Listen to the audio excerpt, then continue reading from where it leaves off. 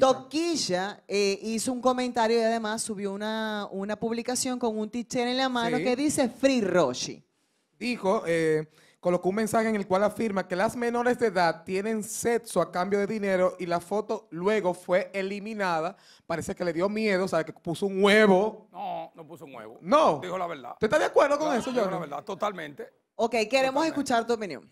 Dijo, dijo la verdad. Lo que pasa es que aquí la gente no se atreve a decir las cosas. Por ejemplo, cuando uno sale de aquí, del canal, hay 20 mil gente sentado ahí, te dicen cosas, pero tú le pones el micrófono y no lo dicen. Sí, eh, ¿Es, es mentira o es verdad? Es verdad. Lo que, lo que está pasando con Rochi, ¿qué es? Eso mismo, ¿eh? Pero yo creo que ustedes, de, ¿cómo, ¿cómo se llama ella? Toquicha. Iban a destacar que es la única dominicana que es tomada en cuenta para la NFL. NFL, sí. Eso, un contrato, eso yo creo que es más Johnny. importante que todo. Johnny, nunca he estado en desacuerdo contigo. Pero por eso es la dinámica de la democracia y el debate, es- eso es parte. Mira, mira. Pero No, Toquicha, no, no. además de ese logro, está denigrando poco a poco la imagen que tienen de los dominicanos No, fuera. No, Moisés, no, no, Sí. Moisés. No, Moisés. Sí. Moisés, a decir la verdad, no esconder la verdad, no es denigrar. Por ejemplo, yo soy ahora un hombre colado, yo tengo familia en Europa. Y en, Euro- en Europa las niñas de 14 años ya se tienen experiencias sexuales. Y en Estados Unidos no se mudan, la- las muchachitas no se mudan en la casa siendo novio con los muchachitos. Entonces volvemos al tema Entonces- doble moral otra vez. Eh, Volvemos al tema de la moral. ah, eh, Jessica, no te lleve de, de- no te lleve del ruido. La gente busca sonido. La gente tapa una realidad. Eso viene, en, en San Juan hay un campo que se llama El Ingeñito, que fue donde se implementó aquel programa de eh, Quisqueya Verde con Jaime David y me tocó ir a mí. Eso está allá en la cordillera central, una zona muy fría. Y cuando yo fui como reportero en helicóptero, llegamos allá porque es una zona muy, muy alta. ¿Tú sabes lo que me dijeron los- las personas de cierta edad? ¿Qué te dijeron? Todo es lindo aquí, todo es bonito, nada más se ve el Canal 5. Mira a ver si es una cuestión fuerte. Y me dije, ¿sabes lo que me dijeron ellos a mí? El asunto es que todo el que quiere buscar una muchachita viene aquí porque se van de 14 años. Se mudan, de se amplían, como dicen en el campo, de 14 años. Entonces estamos viendo una realidad que se tapa. O sea, está- lo, que estamos, lo que estamos viendo ahora fue algo también que Melly Mel Pero- pero hizo hay- hincapié y dijo, hay- hay, millas en esas niñas de, Hay 10 de otro 14 dato, años. hay otro dato, 16. hay otro dato que yo creo que es más, es más, es más- ¿Cuál? Relevante. Sí, hace mucho que la gente lo sabe, pero hace- se hace loco. Vete a un lugar donde hay adolescentes y aprueba para que tú veas las que son mujeres o- y son señoritas. Eso es una realidad. Eso Johnny, es y por, una y por realidad. tener experiencia sexual deja de ser abuso. No, no, no, porque no. Porque no, son no, niñas, Es que una son jóvenes, adolescentes que no tienen mentalmente eh, un La dominio de decisión. Moisés, el tema es, es muy Complejo. complejo porque hay muchachitas de 16 años que tienen el cuerpo de Jessica. Y si no te enseñan la cédula, tú no lo crees. Yo estaba en una discoteca que casi no voy, pero a veces me doy mi perdida. A uno ve, la- eh, me voy, me pongo una gorrita y vaina, no tenis, como una discoteca. Y yo vi una muchacha y esa tipa me, Ale, me planchó y me lavó. Oye, ¿por qué? Cuando yo la vi, digo, muchachita, ¿qué gusta aquí? Y me sacó la cédula. Yo soy más vieja que tú. Me sacó una cédula. O sea, me quedé estupefacto. Y si tú ves que Angelito, eh, yo creo que Wanda puede ser abuela de ella. Una cositica. ¡Oh, Wanda! Para que sepa, para que sepa. No te lleves de eso, Moisés. No te lleves de eso. Tú sabes Además, que ya- eh, además, Ta- Taquicha, ¿qué se llama? Toquicha. Toquicha. Eh, eh, dijo una verdad. Y, y tú sabes qué es lo que pasa. Nuestro Una productor cosa- Érico una- Zapata. Una, cosa es, una cosa es la violación sexual, tener, eh, tener sexo entre un mayor y un menor. Una cosa es eso. Pero otra cosa es la experiencia a temprana edad, que es lo que está en juego aquí. Ay, la mamá no está pidiendo un dinero. Por ejemplo, en el caso de Rochi. Ajá. Un juez no puede tampoco irse de boca. No, que Entonces, la ley... pero- También pero involucra que el ver. tema de la supuesta red, o sea que no era algo de una vez, sino era algo que supuestamente era repetitiva la acción. O sea, La- son el- muchos puntos importantes. el único problema Es que yo- difícil tocar el ese único tema. problema que yo veo ahí y eso es muy amplio y atención al magistrado la magistrada que va a tomar en cuenta esto Sí, eso es muy más fuerte. que una violación o, o tener relaciones entre un mayor y un menor está la fábrica de Proceneta. Ahí sí, ahí sí yo creo que... Pero, señores, Entonces, a- Johnny, eh, a eh, nosotros vivimos en una sociedad de hipocresía. Roche es un Aquí héroe. mismo desmantelan un sitio. Roche- eh, Roche es- de aquí, que era una cuerería. Pero Roche es un héroe, entonces, es Johnny. ¿Quién está diciendo que es un héroe? No, porque estoy viendo como que hay dos, hay dos posturas. Hay. Estamos justificando lo malo con Toquicha que sale afuera del país con letras explí- explícitas vulgares diciendo que ella no tiene que ver con la crianza de los hijos, que los papás que tienen que criar a sus hijos. Y claro que influye la música en menores de edad. Claro que tiene una influencia. Bueno, si no es así, veamos todas las niñas que están en los barrios eh, besándose con otras niñas porque piensan que eso es normal porque Toquicha lo dice en una canción. Moisés, eso es muy fuerte. porque ¿y la- ¿Dónde está la Comisión de Espectáculos Públicos? Bueno, eso, es, ¿Y dónde está están como... los empresarios? Entonces, el problema es más complejo porque es integral. No, no es un problema individual. No, no es un problema claro de Toquicha, pero es parte de...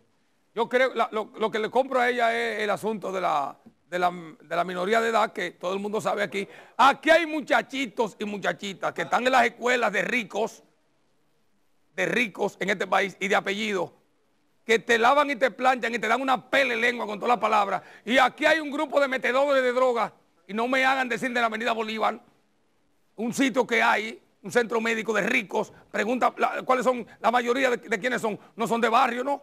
Que están cuidando ahí, porque tengo varios médicos de la especialidad, son muchachos de hijos de millonarios y de figuras que van escondidos a, que lo van a recluir esa, a esa clínica con problemas de drogas, pero nada más ven el pobre.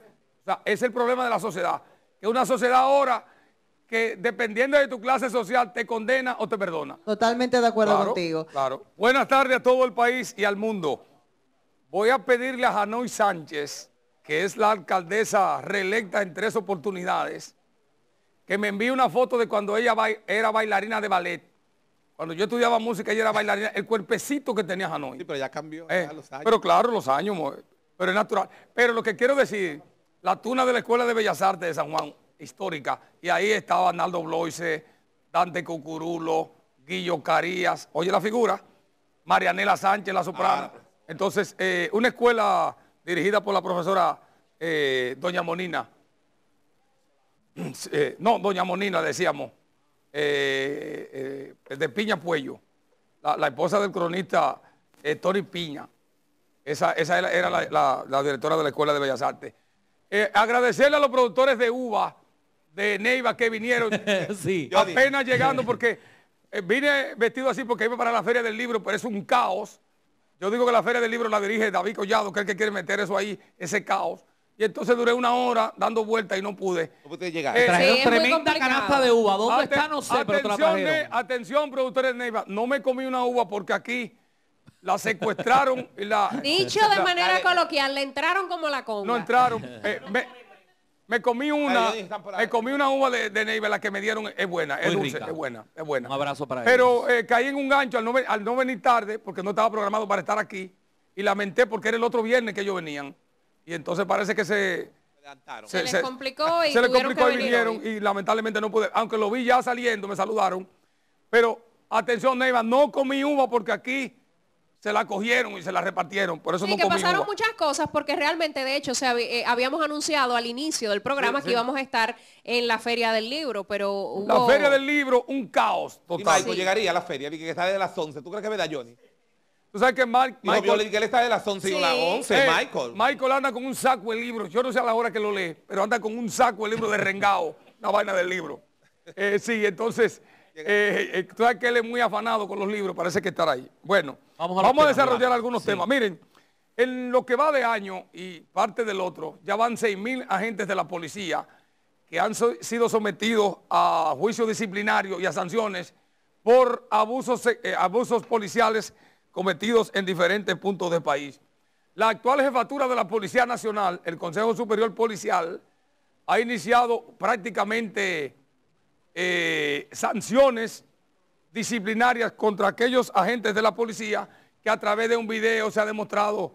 Eh, Merma, yo creo que tú debes tener imágenes por ahí de la mayoría de los abusos de la Policía Nacional y entonces esto ha ido al Consejo Superior eh, Policial. Dentro de la cantidad de estos 6 mil policías sancionados, hay 319 oficiales superiores que han sido sancionados por agredir, eh, por participar en acciones abusivas contra ciudadanos indefensos.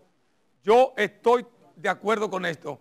No sin antes pedir a la jefatura de la policía que se traslade a San Juan de la Maguana y también investiguen abusos policiales en esa demarcación.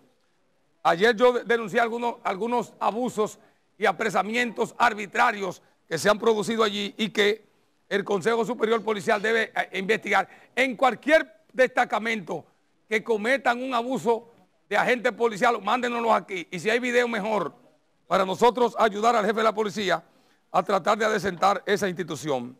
Bueno, miren, con relación al atropello del defensor del pueblo Pablo Ulloa y de varios reporteros en el canódromo. ¿En qué está ese caso? Aquí en el Distrito Nacional. Ayer se reunió el ministro de Interior y Policía, Jesús Vázquez Martínez, un representante de la Dirección General de Impuestos Internos, así como el jefe de la Policía Nacional y el director de la DGC, eh, el general Ramón Antonio Guzmán, que es el director de la DGC, que por cierto, preocupado por la ola de atropellos que cometen miembros de esa institución, eh, ha tomado una serie de medidas disciplinarias también. Y en esa reunión donde participó el director de la DGC, que vino por aquí hace unos días, que estuvo por aquí por el programa, yo quiero reconocer esa parte de que eh, no se tapen los abusos. Y creo que él actúa bien en función de que todo el que cometió el abuso, no solamente contra Pablo yo y los periodistas, sino contra cualquier ciudadano, a partir de ahora se van a tomar medidas disciplinarias. Bueno, la reunión fue, muchachones, para comenzar a devolver los vehículos, documentos en mano que están en el canódromo y que están en poder de las autoridades. Me parece muy bien, Muy porque están ahí dañando y No, lo bueno, dejan gente botado, que hace mucha mucho- gente. sí, lo dejan botados ahí, es terrible. Entonces, yo creo que esa medida es importante. Hay que devolver los vehículos y como nosotros hemos pedido, y qué bueno que ellos, los miembros de esa comisión que encabeza el ministro de Interior y Policía, documentos en manos van a proceder. Ya, claro, ahí hay vehículos que es mejor llevarlo a una metalera, fundirlo de una vez. ya Yo lo que entiendo es que quizás de tanto tiempo que Ay, tienen parados ahí se dañaron los vehículos. Si algunos aparecen, Sí. otros que no apare- van Sí. a aparecer. En este caso, y qué bueno que ahí está, en la reunión estaba un representante de la Dirección General de Impuestos Internos, importantísimo que haya participado allí, porque ahora con su matrícula o con su carta de saldo, los motoristas y los dueños de vehículos podrán retirarlo. Qué bueno. Ojalá que sea de manera organizada, rápida, que no la Claro. vamos a coger una lucha ahora tampoco Sí. para sacarlos de ahí. Deben abrir dos estafetas, una estafeta para motocicletas, Sí. una estafeta para pasolas Sí. y una para vehículos de motor. Yo creo que eso es importante y el país lo necesita. Bueno, a mí hay cosas de los Estados Unidos que no me gustan y otras me gustan. Por ejemplo, la Fiscalía de Estados Unidos quiere que César el abusador se declare culpable y que incluso llegar a un proceso de acuerdo. Él ha estado hablando, él ha estado cantando hasta la lotería allá. Él está en Puerto Rico.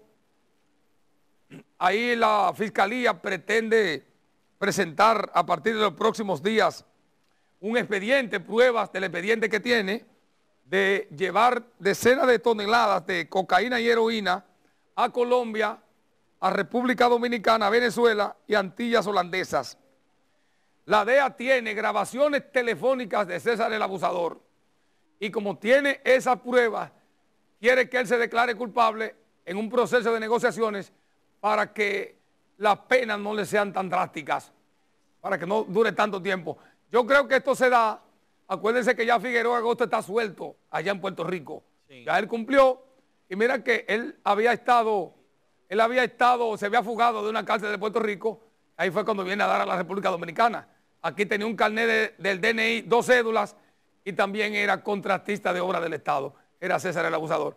Sin hablar de los videos pornográficos que él hizo subir, eh, y además, eh, en, el caso de, en el caso de Figueroa Agosto, en el caso de Figueroa Agosto, bueno, los narcos tienen como algo parecido.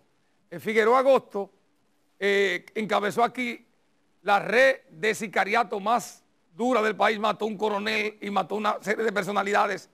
El coronel lo mataron, ustedes recuerdan, ahí en la, ahí en la Nacaona, en, en una de las torres, eh, lo mataron el día de Nochebuena, el 24, ustedes recuerdan. En el caso de César, los investigadores que contrató David Ortiz acusan a César de haber sido ordenado el actor intelectual del atentado contra David Ortiz. Fíjense que se parece una cosa con otra.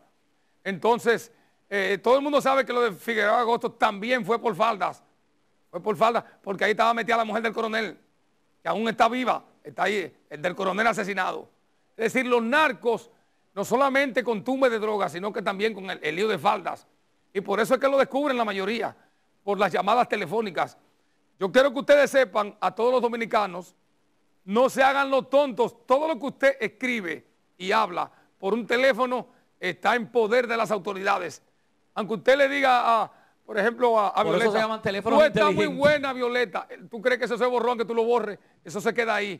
Porque es una investigación. Al final, si pasa algo, y yo quiero que no pase nada nunca, las autoridades tienen. Por eso yo digo que aquí están tapando a quién ordenó a César el abusador que se vaya. Eso fue una llamada que le dijeron. Y se fue en una lancha. Y se fue. Así se fue Figueroa Agosto en una lancha. Y así se fue Sobeida Félix Morel. Por lo tanto, aquí los soplones están dentro de las autoridades. Ojalá y que ese proceso de negociaciones pueda, puedan ser eh, tomados en cuenta. Miren, ayer yo dije aquí que era difícil que Guido Gómez Mazara se Eso te iba a tocar inscribiera. el tema. Se inscribiera. Pues ayer el grupo de Hipólito Mejía y de Luis Abinader demuestran tener el control del Partido Revolucionario Moderno PRM. Ayer, como vencía el plazo en horas de la tarde a las 5, fabricaron una plancha única. Y entonces en esa plancha está José Manuel Paliza, va a repetir a la presidencia del PRM, Carolina Mejía, la Secretaría General, y como subsecretarios generales están, están Kelvin Cruz, que es el síndico de La Vega, Lía Díaz y Juan Luis Rodríguez.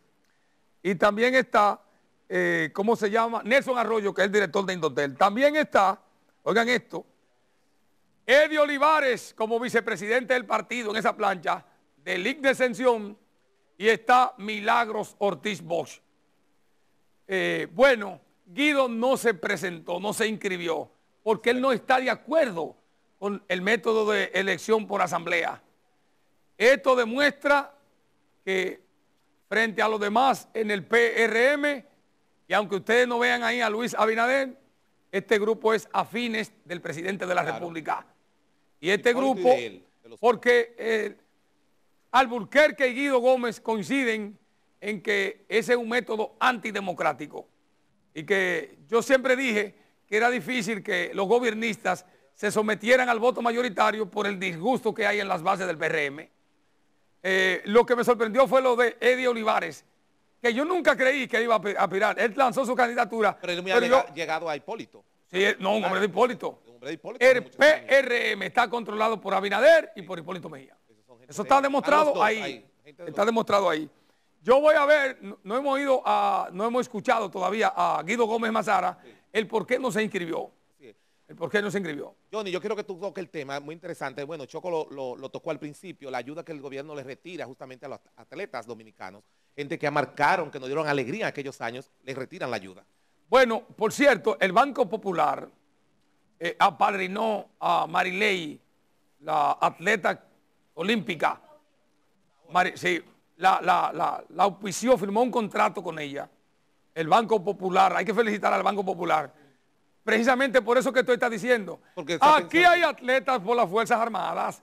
La mayoría son militares. Sí, son militares. Y tienen las tres comidas seguras y tienen un sueldito, aunque sea de miseria. Si no es por las Fuerzas Armadas, estos muchachos, eh, eh, Gaby Mercedes, Sí, el, mismo, el mismo Diego Sí, Pesqueira, pasaría mucho trabajo. todos esos muchachos se, se han destacado en el deporte porque las Fuerzas Armadas, la Policía Nacional, la Marina de Guerra, Sí, pero la gente que le Fuerza Aérea, de gloria a nuestro país, alegría, yo pienso que no deben retirar esa, esa ayuda. bueno, ese es un ministerio que hay que revisar, el Ministerio de Deportes. Claro. Muchos bultos y podemos poner la foto de, los tres, de las tres personas, por favor, que les retiraron la ayuda, para Sí, que Johnny pueda exacto. eh, eso es un crimen. Yo creo que, eh, pero este gobierno tiene problemas con eso. eh.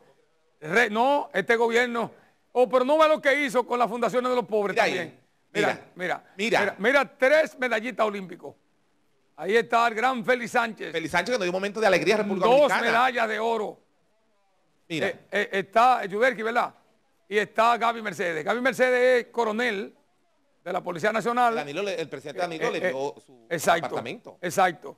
Pero nuestros atletas, en los campos hay muchos también que necesitan ayuda. Aquí, por ejemplo, el play de San Juan prometieron repararlo y la pista de atletismo no hicieron nada. Una cosa increíble. En muchos bultos, yo creo que el deporte, que es una todavía de las eh, actividades más sanas de la sociedad, merece un mayor respaldo. Yo rechazo Sí. que a un atleta usted le quite, lo- eh, al contrario, Pero aquí debe por ley ser protegidos los el atletas. día pasado vi un reportaje de un atleta de muchísimos premios y reconocimiento en una choza. ¿O sí? viviendo. Ah, no, No, y, en- de, poner los premios. eh, y cogiendo fiado en el colmado de la esquina Increíble. para comer. Eso no puede ser. Miren, en San Juan de la Maguana hubo una marcha ayer, una marcha contra la explotación de la mina de oro de los Romeros. Y entonces cientos de sanjuaneros encabezaron la caminata partiendo del Arco del Triunfo, portando pancartas y lanzando consignas a favor del agua y no a la explotación minera en esa zona, por allá por la cordillera central. Eh, hay resistencia, aunque hay un informe del Ministerio de Medio Ambiente que dio un permiso para exploración, no para explotación. Sin embargo, ya el Ministerio de Medio Ambiente dijo que tiene eh, informes de que la empresa que está detrás de la explotación pretende explotarla no a cielo abierto, sino a través de túneles. Sin embargo, la población sanjuanera está de pie. Y déjenme decirle, ¿ustedes saben quién se opone? Félix Bautista, el senador ahora de la Fuerza del Pueblo por la provincia de San Juan, se opone a la explotación minera. Es tu amigo, ¿verdad? Es de tu pueblo. Sí, hace mucho que no lo veo al profesor, Es tu hermano. tu pero él está, él está, él está opuesto a la explotación minera. Allá esto va a generar, si en caso, ahí va a haber problemas. Ahí mejor, ahí está el senador, él se opone y ha sido coherente planteando su oposición a que sea explotada esa mina. Eh, déjenme decirle, Félix Bautista está dentro de los senadores de mayor producción en el Senado de la República. La gente mayoría de proyectos solamente tiene una sola nota disco- discordante y es que él quiere aprobar el proyecto de comercio marítimo sacando a los pilotos de los barcos que tienen 40 años ahí. Feli, no caiga en ese gancho, que ahí vienen las elecciones. No le entreguen, Y ahí es que se pasa factura. no le entreguen los puertos a, a novatos. Esos pilotos que están ahí fueron entrenados en Estados Unidos y tienen 40 años ahí. No, la experiencia no se improvisa. No, además, señores, manejar puertos, la trayectoria, puertos y aeropuertos es una cuestión de seguridad nacional. Claro, claro. De alta seguridad nacional. Lo primero es. que usted tiene que tener es ética, aparte de la capacidad técnica, aparte de la, de la confiabilidad y la credibilidad. Cualquier no le fragilidad puede en esos poner- puntos es un desastre. Usted no le puede poner ni un barco ni un avión en manos de cualquiera. No. Bueno, miren, en la cuestión de los animales que tú tenías, y me, sí, me gustaría. eso fue en La Romana. Ya hablé con mi amigo Ángel Production, que es un- una persona muy querida, muy respetada en el pueblo, y van a tomar cartas en el asunto, pero de verdad que rompe el alma lo que vimos en el día de hoy. Los Sí. animalistas están regados. Me pidieron que tú, tú- tú dieras tu opinión sobre Hay sobre que ir caso. donde tienen los animales así, romper el candado y soltarlo claro. Claro, porque yo he dicho aquí, señores, Y el alcalde vino aquí cuando estaba postulándose, dijo que iba a, tom- a tomar esa el iniciativa. alcalde pero de la tenerlo- Romana es sí, mi amigo Tony con el pueblo. Por eso, pero para tenerlos en Mira, esas condiciones, Tony, mejor no te metes en esa vaina. están arriba. Eh, eh, por cierto, un hombre de la televisión y la radio, de, de muchos años, mi amigo Tony, pasó un mal momento y demostró que es un líder en la romana porque ganó. Después de estar preso y todo lo que pasó, ganó. Tony, no te metas en eso. Los ayuntamientos tienen que velar. Anteriormente eh, había lo que se llamaba el pregón. Por ejemplo, en mi pueblo, los animales que estaban vagando, que no tenían dueños, los ayuntamientos los apresaban. Daban un tiempo y si los dueños no aparecían, los subastaban. Eh, sobre todo la- las reses, los animales de carga como el burro, el caballo y el mulo, tienen que tener una estampa con las iniciales del propietario. Sí. En el caso de, lo- de la- de las, de la mascota, siempre le ponen un, un collarcito con el nombre, Sí. O le ponen una de plaquita. Pero estos perros callejeros es difícil hacerlo, pero por lo menos si no lo van a poder alimentar, es preferible que los dejen sueltos. Y los restaurantes, los colmados, algo le dan, porque los perritos de la calle son los más solidarios con la gente. Claro, claro, y, en eh, esos establecimientos Porque le de dan verdad, las obras, claro. desnutridos muriéndose de hambre todos. Yo soy sanjuanero, pero yo he echado el día chivo hoy, que ustedes no saben por qué. Yo me levanto muy temprano. Yo soy un hombre que estoy de pie en- entre 3 y media, 4 de la, la mañana. Yo lo primero que hago es que me levanto, cuelo café y ahí entre el café me baño, pan. Pero esta mañana cuando iba saliendo de mi casa en la galería, Érico salió un gato negro a mil. Entonces, No, no hacen nada. eh, El susto que tú te diste, imagino, no, yo no, de San Juan. No, el enllave. sí, pero no, no, no, no pasa Eh, nada. Ay, muy fuerte. eh, no, no, eso no pasa nada. Pero le agradezco, le agrade- él se salvó porque una perra chao chao que yo tengo, Son que una de fiera, campo, pero eso no que pasa tú nada. jala esta mesa con los dientes, de lo fuerte que es. ¿Se le cayó que- atrás? No, ella estaba en la parte de atrás y él se sentó en una de las de la, de la, de la mecedora de la galería, de la marquesina de mi casa. Eh, entiendo que él era que estaba ahí porque se estaba moviendo cuando él salió huyendo, de manera que él estaba muy arrecostado. Lo que él no esperaba era que yo iba a abrir la puerta, ¿sabes? Sí, Los gatos, cierto, eh, ey, lo- los gatos escogen las que- casas, no que- van a cualquier Que por casa. cierto, ustedes han visto un gato negro aquí, ¿verdad? ¿Aquí hay un gato negro que viene aquí, sí. ¿En el al canal hay uno? Sí, No, yo he viene, visto gatos viene, aquí, pero no viene. negros. No, pero Eh, negro no hacen no, nada, son eh, bellísimos, parecen una pantera. No, no, no, mira. Eric, oye, oye lo que dice Ale, un gato negro que nada más tú veas los ojos blancos de noche. Ay, es fuerte. En medio No, de la no. noche es fuerte. Lo que es una gallina de sacrificio, yo le tengo pánico. Sí. No, lo que pasa es que la gente dice, si tú tienes miedo, cómprate un gato negro. Sí. Es que los gatos casi no son negros. Son barcinos, eh, son peludos. Gris o blanco. eh, es- es- gris. Mira, ellos casi los gatos negros no, habi- no, no, no abundan. No. Sí, y son Sí. unas mascotas maravillosas. Si en tu casa, no pasa un ratón nunca. Bueno, no, eso tienen lo- los gatos, sí. Pero la, la mascota que hay en mi casa no quiere saber de gato. Ellos, ese se salvó porque logró entrar por atrás. Esa, esa es la realidad. Señores, tengan Gracias, feliz fin de Feliz semana. fin de semana Gracias. para ti, Johnny. Para tu pueblo, San Juan. Pues, Pienso ir, pienso ir por allá. Ha sido el segmento del garrote de Johnny Vázquez y este segmento tiene su patrocinador. Así es, pero antes vamos a saludar a Ruth Esther de la Cruz, Perla Cruz, del Comité de Carnaval de Jaina. Así que... El carril, el carril de Jaina, el Dios carril mío, aquí está. Lorenzo, su representante. Así mismo, les recordamos a nuestros amigos televidentes que este segmento llegó a ustedes gracias a Orto Implante Centro Dental Doctor Cabral. En Orto Implante brindamos esa seguridad de una sonrisa perfecta y renovada con más de 20 años de experiencia en odontología. Estamos aquí en la República Dominicana, en la avenida Enriquillo, Autopista San Isidro y Jardines Metropolitanos en Santiago. Orto Implante, atrévete a lucir esa sonrisa que siempre has deseado.